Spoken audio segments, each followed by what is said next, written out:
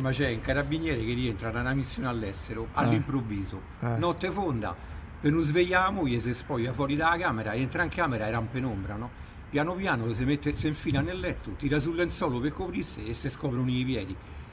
Questo a un certo punto, incuriosito, guardi i piedi e li contano, fa 1, 2, 3, 4, 5, 6. Come 6? Oh?